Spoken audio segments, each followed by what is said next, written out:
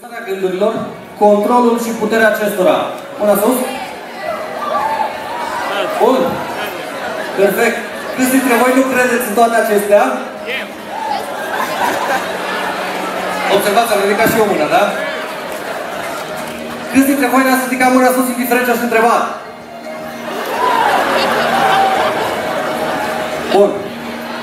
Asta mă face și mă ajută să știu de unde plec. Ca să nu ne mai lungim. Nu vreau să vă dau definiții a domeniului, nu vreau să vă spun ceea ce fac. Eu prefer să vă arăt. Și ca să nu mă acuzați că am persoane în sală cu care sunt înțeles, mi se întâmplă asta deseori, să fiu acuzat că sunt înțeles cu anumite persoane, am adus cu mine ultima tehnologie în domeniu. Nanotehnologie. Serios. E un microprocesor aici incorporat, e foarte scump, nu glumesc. E un mic chemoto, bulgăre de hârtie, pe care am să-l arunc în sală. Scopul lui, scopul lui este de a alege pe unul dintre voi la întâmplare. Tocmai de aceea eu îl numesc randomizer.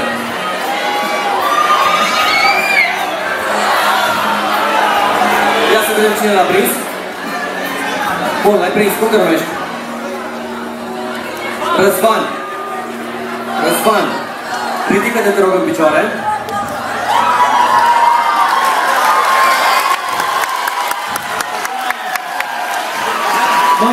Ce prieteni are! Răzvan, Hai odată. am să spun o întrebare. Uite, o să spun ce facem, după care spun o întrebare. Am aici un cartonaș, un cartonaș alt pe care eu voi scrie ceva. Iar tu o să-mi citești mie gândurile. Mă crezi? N-ai mai făcut asta până acum, nu? Bun. Ca să știu ce metodă să folosesc pentru a-ți transmite ție ceea ce vreau să-ți transmit, ceea ce voi scrie pe cartonașul ăsta, vreau să spun o întrebare. Zi-te rog prima culoare care îți vine în minte. Verde? Cu vocea tare a zis verde, da? Știi cumva de ce ai zis culoarea asta? Nu. Bun. Nu are importanță. Răzvan, eu am să scriu aici ceva. Uh, nu vreau să vedeți voi, evident. Tocmai de aceea folosesc un creion mic. Răzvan, te uiți atent la mine. Nu v-am considerat gesturile care le fac cu mâinile în aer, nu mă asculta ceea ce spun, pentru că spun doar în penisin, dar primul număr de două cifre care scrie în minte. Acum, 5, 3, știi cumva de ce ai ales numărul ăsta? Nu, habar n-ai. Răzvan, ai fi impresionat dacă pe cartonașul ăsta la mine ar scrie 5, 3? Da? Eu cred că o să fie foarte impresionat. Am să vă dau, oare intru microfonie dacă pășesc aici? Nu. Răzvan, dați-vă rog cartonașul până la Răzvan în spate. Și spuneți-mi cu voce tare, voi cine din față, hai să vedem ce scrie? Ce scrie? 53. Ăsta e numărul care tu l-ai zis, da? Răzvan, mai ai în mână bulgările de hârtie? Ce culoare mi-ai zis? Deschide, te rog, hârtia.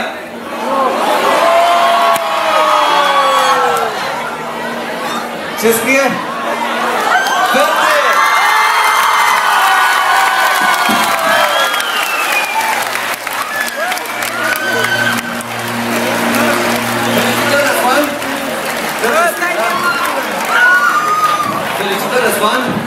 Și acum vreau să vă fac o mărturisire.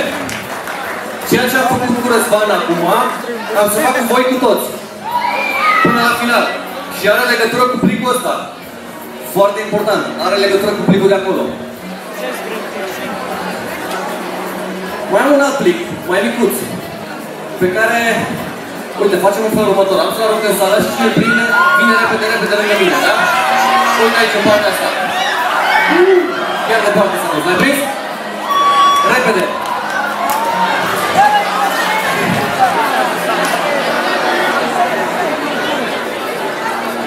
Cum te numești? N-am auzit ce a zis, dar... N-are microfon, știu că n-are microfon. Bun. Sunt mentalist. Bine, Sebi! Cum te numești? Sebi, ai dreptate.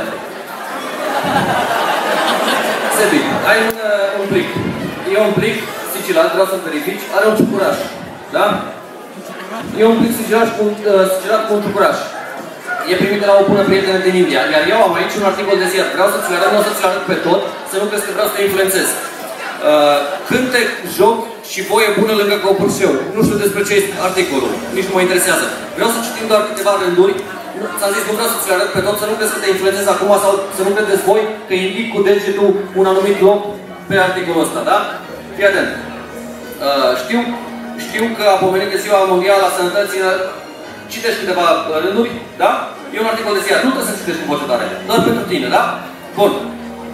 Nu ți l-am arătat tot articolul pentru că ți-am zis nu vreau să te influențez sau să crezi că te-am influențat într-un fel sau altul. Facem un fel următor. Cu această foarfecă, a, și evident, ți-am arătat asta, am uitat să precizez, pentru că lumea, după emisiunile în care am participat, mă acuză că articolul ăsta e cu capul în jos. Nu e cu capul în jos, da?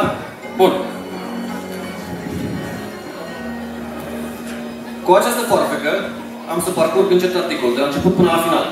În orice moment vrei tu, îmi zici stop sau taie. Exact, acela va fi momentul în care voi tăia articolul cu o mică precizare. Am să-ți dau ocazia să te răzgândești. Doar dacă vrei. Dacă am ajuns la final și mi-ai zis stop sau taie, eu de la început, sunt plătit la oră. Stăm aici până mâine. Bun? Începem? Bucata care o să o tai, o să vezi, o să cadă jos și o să facă... Am mai făcut asta. Știu.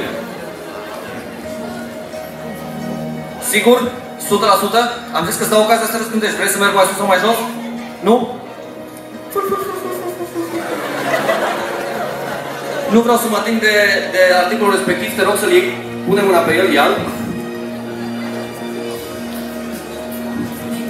Avem cumva un alt microfon aici, să... Un microfon de mână. Mersi. Bun, perfect. Efecte speciale. Ține articolul exact cum... Uh, să poți să... A, așa, să citești ce scrie pe el. Și te rog cu voce tare, citește în primul rând exact locul în care tu mi-ai cerut să, schimb, uh, să tai articolul. N-am primit nici tort, nici cadouri. N-am primit nici tort, nici cadouri. Ține să rog microfonul, dă plicul. Ți-am dat ocazia să răzgândești. Deschidem ciucurașul.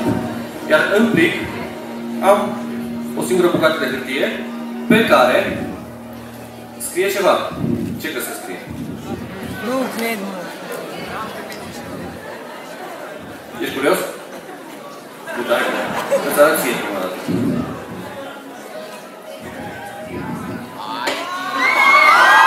Felicitații! Mersi tare mult! Mersi mult, tot tot tot tot tot tot tot tot tot tot tot Merci, mon.